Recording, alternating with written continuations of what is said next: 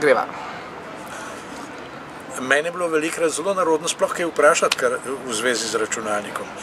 Ker sem vedno mislil, da bodo mladi reagirali cinično, ironično, pa bi rekli, da je stari, nehi se ukvarjati s tem, kaj to ni zate. Ampak vidim, da to ni res. Vsi mi pomagajo in uh, pol kar naenkrat vidim, kako so to neke preproste zadeve. In vesel sem, da mladi sodelujejo z nami, ker po drugi strani imam pa jaz tudi kakšne izkušnje, menda v življenju, da lahko tudi mladem kaj pametnega povem.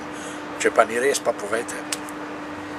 Drage sošolke in sošolci, če ste še živi, prijavite se na delavnice simbioze, ki bojo potekale od 15. do 19. oktobra po celi Sloveniji.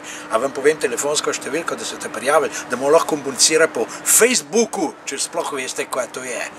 Nič 4, nič, 9, 4, nič, 8, 8, 8. Ha, zapomnim.